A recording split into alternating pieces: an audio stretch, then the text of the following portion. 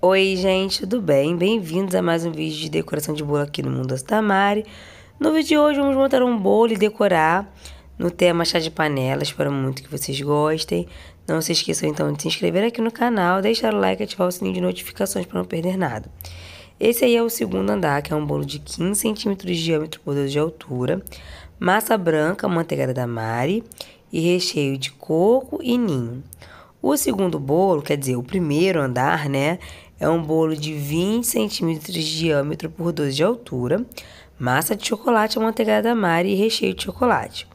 No primeiro andar, é, para fazer um bolo de 15, eu utilizo a massa de 3 ovos. Se você é aluno do meu curso online ou presencial, você sabe que massa é, né? A massa de 3 ovos. E em cada camada de recheio, eu coloco cerca de 320 gramas de recheio. Para o bolo de 20 centímetros, eu utilizo é, seis receita, é uma receita de seis ovos, melhor dizendo. E para cada camada de recheio, eu coloco cerca de 520 gramas de recheio. Depois disso, como é um bolo de andar, montei, coloquei os caninhos de duração, deixei descansar também, né? Óbvio. E aí eu vim fazendo a blindagem antes de começar a decoração. Gente, todos os meus bolos de andar são feitos com blindagem. Quando o cliente vem pedir o orçamento, eu já pergunto se é bolo de um ou dois ou três andares né? Enfim, pergunta é bolo de andar ou se é bolo de, de um andar só, porque meus bolos de andares sempre vão com blindagem, a blindagem é incluso no orçamento. É uma segurança para mim, é uma segurança para o cliente, e eu não dou essa opção para o cliente, não. É uma coisa que já é padrão da minha confeitaria, e eu preciso me assegurar e assegurar o cliente.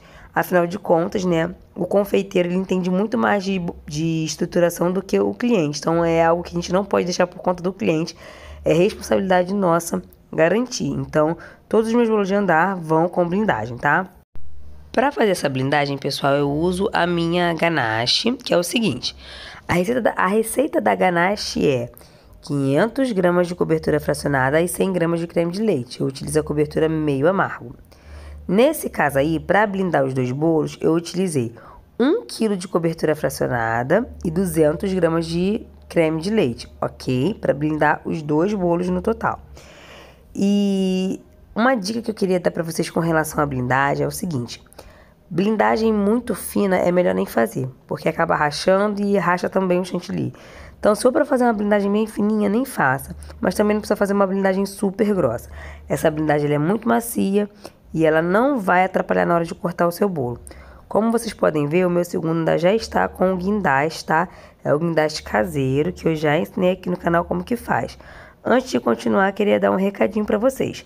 Dá uma olhadinha aqui nesse recado. Oi, gente, tudo bem? Eu sou a Mari, do Mundo da Mari, e hoje eu tenho uma proposta irrecusável para você que está começando na confeitaria e já quer começar com o pé direito, ou até mesmo para você que já trabalha na confeitaria, mas que não aguenta mais ver os seus bolos e receitas dando errado.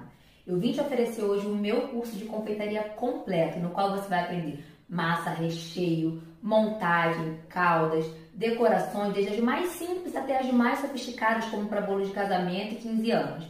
Aqui você vai ter acesso também a uma apostila incrível, super completa, certificado e o melhor de tudo, nosso curso ele é vitalício e com atualizações. Então, se você quer mudar a sua história na confeitaria, clica no botãozinho aqui embaixo, não perca tempo. Recado dado, então vamos para a decoração do nosso bolo. Bom, é, só para deixar bem claro, esse bolo de 20 centímetros ele serve em média 25 fatias. E o bolo de 15 centímetros serve em média 15 fatias. É, gente, então, eu falo em média, né? Porque vai variar de quem está cortando o bolo.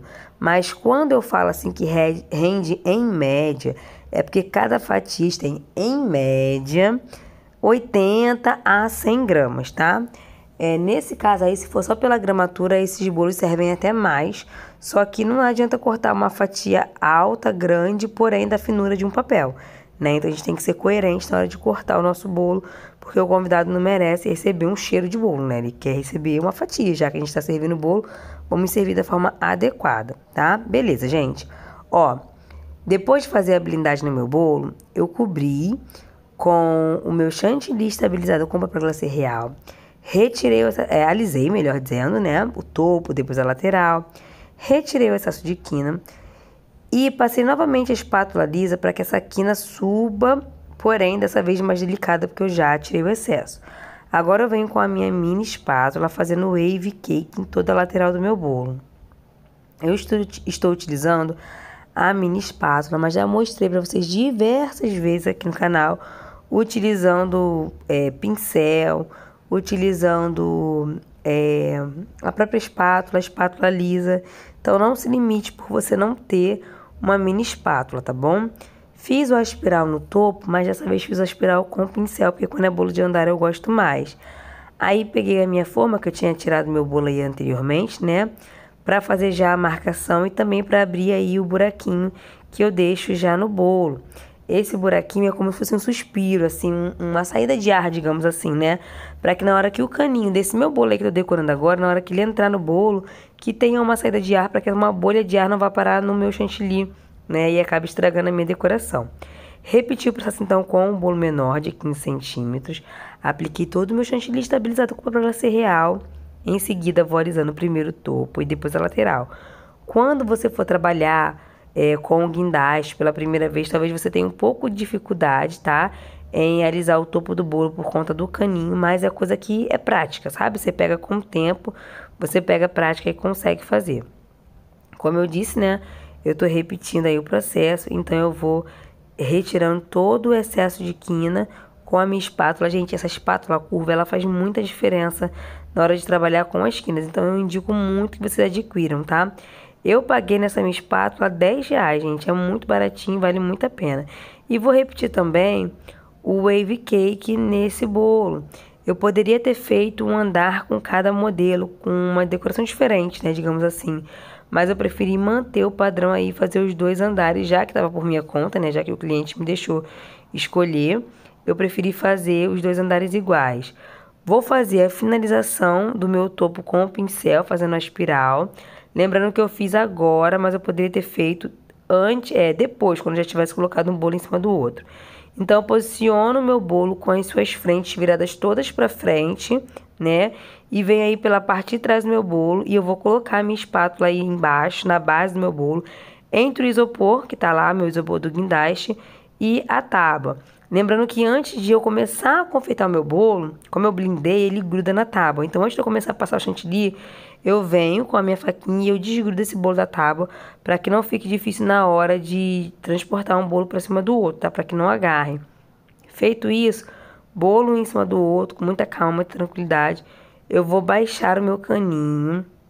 E eu preciso falar para vocês, caso vocês não saibam, que quando você tá com o caninho ali, né, você pode aproveitar e ajustar. Às vezes o bolo fica um pouquinho torto para um lado ou para o outro, você consegue ajustar com o caninho. E falando nisso, tomem cuidado para quando vocês forem abaixar o caninho, às vezes o bolo tá perfeito, tá na posição perfeita, tá tudo perfeito. Mas aí você vai abaixar o caninho, você entorta o caninho, então automaticamente você entorta o bolo, tá? Então tem que ter muito cuidado.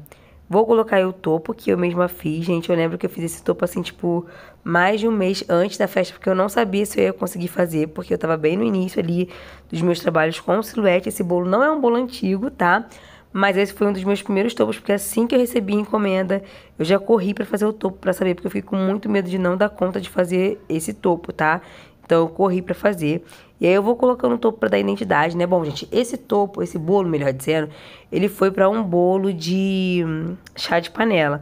Mas vocês estão vendo que esse modelinho, né, trocou o topo, você faz casamento, você faz noivado, faz qualquer outro tipo, né, de, de hum, tema.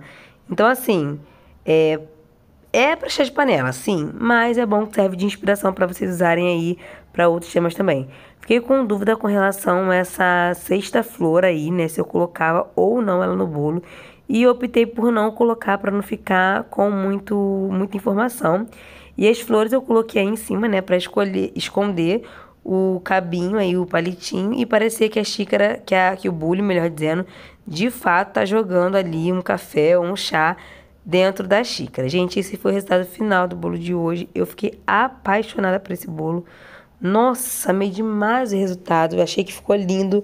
O topo também achei que ficou lindo. Eu amei, amei muito mesmo. Eu espero muito que vocês também tenham gostado. E se você gostou, não se esqueça de dar um joinha, se inscrever aqui no canal se você ainda não é inscrito. Se não, segue a gente no Instagram, arroba Mundo Doce da Mari, ou Mariane Lima de Faria, que é o meu Instagram pessoal. Tenho também meu Instagram de papelaria, que é o arroba papelaria. E se você quiser conhecer também o Instagram da minha batataria, arroba blessed batataria, underline batataria. Um beijão para todos e até o próximo vídeo. Tchau!